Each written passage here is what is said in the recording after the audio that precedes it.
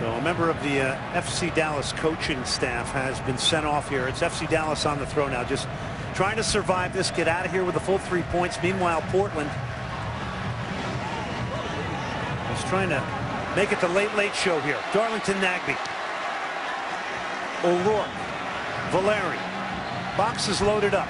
It's swung in again. Headed out by Je-Vaughn Watson just at the top of the box. Quick shot. Kyle's shot is in.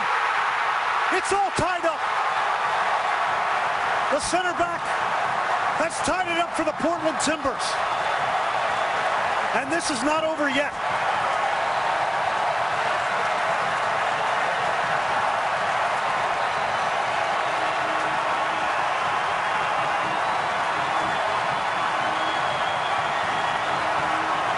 It's all about being in the right place at the right time for Pamu Ka.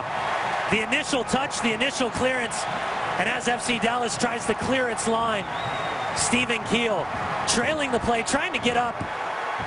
And that initial step allows Pa Modou Kah to be in an onside position.